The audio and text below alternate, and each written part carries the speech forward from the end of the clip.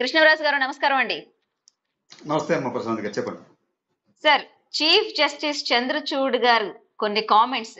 రాకేష్ కుమార్ గారి మీద ఆ, చేసిన కామెంట్స్ ఏవైతే ఉన్నాయో రాకేష్ కుమార్ గారు మన ఏపీ రిటైర్డ్ జడ్జ్. ఆయన మీద ఏమంటారు? అవసరమైతే తీహార్ జైలు ఎలా ఉంటుందో చూపిస్తాను అని చేసిన ఆ ఘాటైన కామెంట్స్ నిజంగానే చాలా సెన్సేషనల్గా అనిపిస్తున్నాయి. అసలు ఈ రాకేష్ కుమార్ గారు అమరావతి రైతుల నుంచి వంగి వంగి దండాలు పెట్టించుకున్న ఆ రాకేష్ కుమార్ గురించేనా మనం ఈ కామెంట్స్ వింటున్నాం అని అనిపిస్తుంది ఒకసారిగా. ఏ ఏంటి సార్ ఏం జరిగింది? నిజమేనమ్మా ఈ రాకేష్ కుమార్ గారు ప్రారంభం నుంచి కూడా అంటే ఆయన కెరియర్ని ప్రారంభించినప్పటి నుంచి కూడా వివాదాస్పదమైన వ్యక్తిగానే ఉన్నారు ఆయన. దాంట్లో భాగంగానే ఆంధ్రప్రదేశ్కి బదిలీ కావడానికి ముందు ఆయన బీహార్లో కూడా ఆ, వివాదాస్పదమైన వ్యాఖ్యలు చేశారు. ఎవరి మీద? తన సహచర జడ్జిల మీదే ఆయన వివాదాస్పద వ్యాఖ్యలు చేశారు. అదేమిటంటే తన సహచర జడ్జిలంతా కూడా పెద్ద ఎత్తున లంచాలు తీసుకుంటున్నారు. లంచాలు తీసుకుని తీర్పునిస్తున్నారు అని చెప్పి చెబితే ఆ సహచర జడ్జిలు ఏం చెప్పారంటే బాబు నీకు ఆధార ఆధారాలు చూపించమని చెప్పి అడిగితే ఈయన ఆధారాలు చూపించలేదు.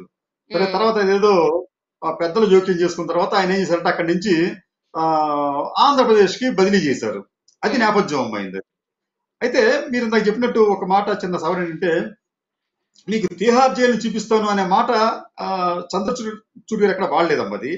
అదేంటంటే అది అది ఆ విషయం చెప్పింది ఎవరికంటే మీకు ఈ మన ఈ ఫినోలెక్స్ కేబుల్స్ అనే ఒక సంస్థ ఉందన్నమాట.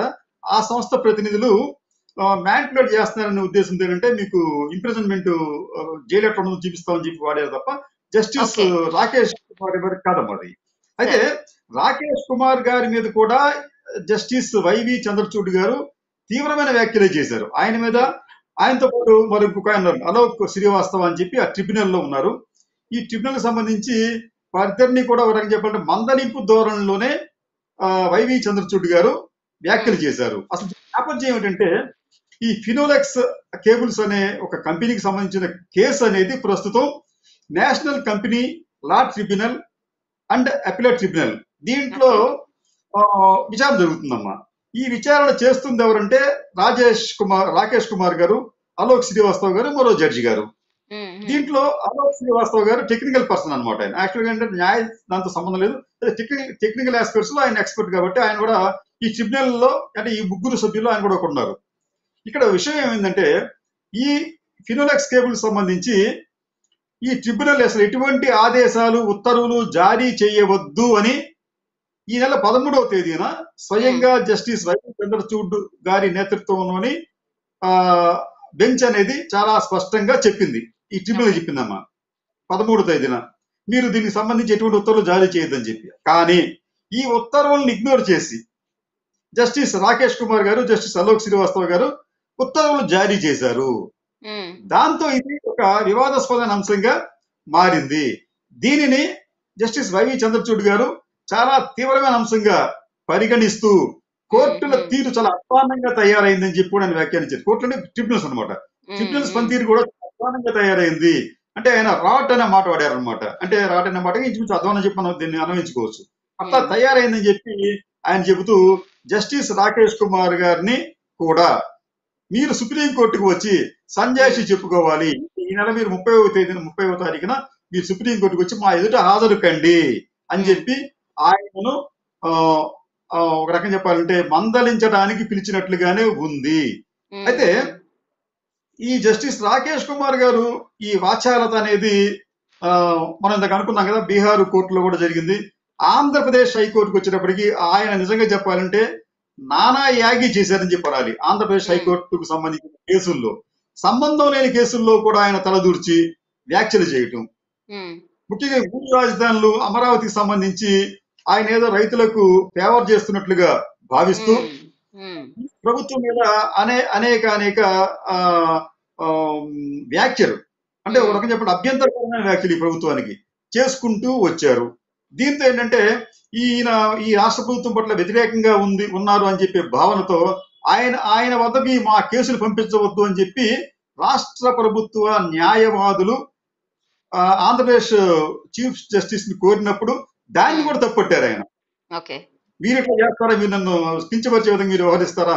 మీ మీద ఎందుకు కేసు పెట్టకూడదని చెప్పి మళ్ళీ దాని మీద కూడా ఆయన రకంగా చెప్పాలంటే ఈ ప్రభుత్వ న్యాయవాదులను బెదిరించే విధంగా వ్యవహరించారు.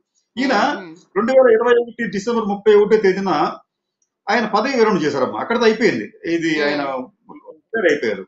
అయిపోయిన సమయానికి ముందు ఆయన ఒక జడ్జిమెంట్ ఇచ్చారు. అయితే ఆ జడ్జిమెంట్ మనం చర్చించే ముందు ఆయన ముప్పై ఒకటో తేదీన జడ్జిమెంట్ ఇచ్చేసి తిరిగి తన ఇంటికి వెళుతూ తన ప్రయాణానికి ఏర్పాటు చేసుకున్న టైంలో ఈ అమరావతిలో రైతులంతా కూడా పెద్ద ఎత్తున రోడ్డు పక్కనే నిలబడి ఆయన కారు మీద పూలజల్లులు జరుపు ఆ, చేస్తూ అమరావతి జై అమరావతిని ని- నినాదాలు ఇస్తూ ఆయనకి నమస్కారాలు పెడుతూ మీ వల్లనే మేము ఇప్పటిదాకా ఈ ఉద్యమం చేయగలిగాము. మీ వల్లనే అమరావతికి కొంత ఓట లభించింది అని చెప్పి ఆ, ఓ పెద్ద ఎత్తున ఆయనకి ఆ, ప్రశంస వర్షం కురిపించారు. దానికి కూడా ఆయన ఆ, కారులోంచి ఉంటూ వివాదం చేసుకుంటూ వారు ఇస్తున్న బుకేస్ని తీసుకుంటూ ఆ, షాల్స్ తీసుకుంటూ ఆయన వెళ్ళారు. ఇదంతా కూడా ఏంటంటే అప్పట్లోనే ఒక పెద్ద ఓవర్ యాక్షన్గా కనిపించింది. అమరావతి రైతులు కావచ్చు లేదా రాకేష్ కుమార్ కావచ్చు వాళ్ళు చేసినంత కూడా పెద్ద ఓవర్ యాక్షన్గా కనిపించింది సరే ఈ తీర్పు వచ్చేటప్పటికి ఆయన యాక్చువల్గా ఆయన ఏ దేనికి సంబంధించిన ఇది ఇచ్చారంటే మిషన్ బిల్డప్ ఏపీ అని చెప్పి ఒక దానికి సంబంధించి వారు ఏం చేస్తారంటే కృష్ణా గుంటూరు జిల్లాలో మిషన్ బిల్డప్ ఏపీకి some కొన్ని భూములు ఉన్నాయి. ఆ భూములను మనం అమ్ముదాం అని చెప్పి అనుకుంటే దానికి సంబంధించిన కేసును ఆయన విచారించారు లాస్ట్ డేన విచారిస్తూ ఏం చేశారంటే దానికి సంబంధించిన ఉత్తర్వులు ఇచ్చుకుంటూ అసలు ఈ. కేసుతో సంబంధం లేదు విషయాలని ప్రస్తావించారు. దాంట్లో మూడు రాజధానుల ప్రస్తావన అలాగే జగన్మోహన్ రెడ్డి సిబిఐ కేసులు అలాగే జగన్మోహన్ రెడ్డి గారి గతంలో సుప్రీంకోర్టుకి రాసిన లేఖలు ఇవన్నీ కూడా ఆయన ప్రస్తావిస్తూ ఈ రాష్ట్ర ప్రభుత్వాన్ని చాలా తీవ్రంగా విమర్శించారు. ఒక రకంగా చెప్పాలంటే ఆయన వ్యాఖ్యలు ఎంత ఘాటుగా చేశారంటే మీరు ప్రజల ప్రాథమిక హక్కుల్ని ఈ రాష్ట్ర ప్రభుత్వం కాలరాస్తోంది అని చెప్పి చెప్పడమే కాకుండా మీ వలన అంటే మీరు ఇటువంటి లేఖలు రాయటం వలన సుప్రీంకోర్టుకి మీరు ఒక రకంగా వారిని బెదిరిస్తున్నారు. బెదిరింపును గురి చేయడం కోసం అని చెప్పి మీరు ఈ సుప్రీంకోర్టుకి ఇటువంటి లేఖ రాశారు. ఫలితంగా ఈ కోర్టు తీర్పులు కూడా రేపు తారుమారు అయ్యే అవకాశం ఉంది. ఇట్లాగా అనేక అనేక అంశాల్లో అయినా అంతేకాకుండా ఈ లేఖ రాయటం ద్వారా జగన్మోహన్ రెడ్డి అనుచిత లబ్ధి పొందారు. ఈ లేఖ వల్ల జడ్జీలను బదిలీ చేశారు. ఈ బదిలీకి కారణం మీ జగన్మోహన్ రెడ్డే. ఇట్లాగా ఆ, ఈ హైకోర్టు జడ్జిని బదిలీ చేశారు. అయితే అది కూడా జగన్మోహన్ రెడ్డి గారికి లబ్ధి చేకూ చేకూర్చడానికి ఇటువంటి పనులు చేశారు అని చెప్పి అంటూ ఆయన సుప్రీంకోర్టు కలోజియం ను కూడా ఆయన ప్రశ్నించారు. ఈ కలోజియంలో పారదర్శకత ఉండాలి అని చెప్పి ఆయన ప్రశ్నించారు. ఇట్లాగా నానా యాగి చేసిన ఈ రాకేష్ కుమార్ గారు రిటైర్ అయిపోయిన తర్వాత ఆయన అట్లా ఉంటే సరిపోయింది. ఈ ప్రభుత్వం ఏం చేసిందంటే కేంద్ర ప్రభుత్వం ఏం చేసిందంటే ఆయన తీసుకెళ్ళి మళ్ళీ ఈ National Company Law Tribunal Appellate Tribunal జడ్జిగా నియమించింది. దాంతో ఏంటంటే అక్కడ కూడా ఆయన ఇటువంటి కార్యకలాపాలే చేస్తుండటంతో ఇటువంటి అంటే తన పరిధిని మించి పనులు చేయటం అలాగే. సుప్రీంకోర్టు ఇచ్చిన ఆదేశాలను కూడా ధిక్కరించి తీర్పులు ఇవ్వటం ఇవన్నీ చేస్తుండటంతో ఆయన ఇప్పుడు ఏంటంటే సుప్రీంకోర్టు ఎదుట ఒక దోషిగా నిలబడవలసిన పరిస్థితి ఏర్పడింది. సార్ అయితే ఇప్పుడు అమరావతి కేసుల్లో కూడా ఒక వర్గానికి కొన్ని అనుకూలమైన తీర్పులు ఇచ్చారనే ఆరోపణలు కూడా ఉన్నాయనుకుంటాను అదే అది రాష్ట్ర ప్రభుత్వం తరఫున అటువంటి ఆరోపణలు వచ్చినాయమ్మా జస్టిస్ రాకేష్ కుమార్ గారు ఆ, తెలుగుదేశం పార్టీకి అనుకూలంగా ఉద్యమ ఉద్యమాలు చేస్తున్న రైతులకు అనుకూలంగా తీర్పులు ఇచ్చారని చెప్పి వీళ్ళు ఆరోపించారు ఆయన మీద. ఏదైనప్పటికీ కూడా ఇప్పుడు జడ్జి అని ఆయన ఏంటంటే నిష్పాక్షికంగా ఉండాలమ్మా. ఈ రాగద్వేషాలకు ఈ భావోద్వేగాలకు కూడా అతీతంగా ఉండాలి. కానీ ఆయన అట్లాగా అటువంటి రాగద్వేషాలకు అతీతంగా లేరు భావోద్వేగాలకు అతి- అతీతంగా లేరు. ఆయన ఏంటంటే ఆయన ఏంటంటే ఈ సన్మానాలకి వాటికి కూడా దూరంగా ఉండాలి. అసలు ఆయన వాటిని పట్టించుకోకుండా వెళ్ళిపోయి ఉంటే బాగుండేది. అలా కాకుండా ఆయన వచ్చిన వాళ్ళతో ఆయన అభివాదం చేస్తూ వాళ్ళ దగ్గర షాల్స్ తీసుకుంటూ పిక్చర్స్ తీసుకుంటూ వాళ్ళకి నమస్కారం పెడుతూ ఇది మంచిగా జరుగుతుంది అని చెప్పి చెప్పడం. ఇవన్నీ కూడా ఏంటంటే ఒకవైపు రైతుల ఓవర్ యాక్షన్ అయితే ఇంకోవైపు జస్టిస్ రాకేష్ కుమార్ కూడా ఓవర్ యాక్షన్ ఇస్తుంటేనే అప్పట్లో అనిపించింది చాలా మందికి. సార్ అయితే ఇప్పుడు చీఫ్ జస్టిస్ చేసిన ఈ కామెంట్స్ ఏవైతే ఉన్నాయో అంటే ఎటువంటి ఏమంటారు ఇంప్రెషన్స్కి దారి తీస్తుంది అంటారు సార్? ఇంత ఘాటైన వ్యాఖ్యలు ఇంతకు ముందు ఎవరు కూడా చేయలా? చేయలేదు. నిజంగా చెప్పాలంటే ఎవరు చేయలేదమ్మా. ఇటువంటి వ్యాఖ్యలు చేసిన వ్యక్తి ఏకైక వ్యక్తి ఎవరంటే జస్టిస్ రాకేష్ కుమార్. ఆ తర్వాత. భట్టు దేవానంద్ గారు కూడా ఏదో ఒక సందర్భంలో చేశారు కానీ ఆయనతో ఒక తరహాగా ఉంది. ఈయన మరి ఏమంటాడంటే ఈ కోర్టులు అనేవి న్యాయస్థానాలు అనేవి ప్రాబల్యం గల వారి చేతుల్లో దాడులకు గురవుతున్నాయి. అంటే కోర్టులు. అనేవి అంటే ఆయన చెప్పింది ఏంటంటే జగన్మోహన్ రెడ్డి గారి ప్రభుత్వాన్ని ఇండైరెక్ట్గా చెప్తూ ఈ. ప్రభుత్వం అనేది కోర్టుల మీద దాడి చేస్తుంది. అనుచితమైన తెస్తుంది ఇటువంటి వ్యాఖ్యలు చేశారు. అయితే దీనికి సంబంధించి ఈ ప్రభుత్వం కూడా ఆయన మీద యాక్షన్ తీసుకోవచ్చు. ఆయన మీద ఆయనకు నోటీసులు ఇచ్చి ఆయన రప్పించి ఆ, కేసులు పెట్టి.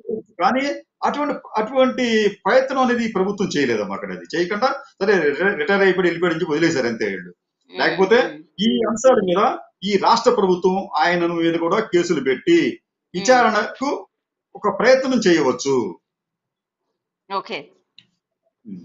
Right sir thank you very much sir. నమస్తే అండి. థ్యాంక్ యూ వెరీ మచ్ అమ్మా.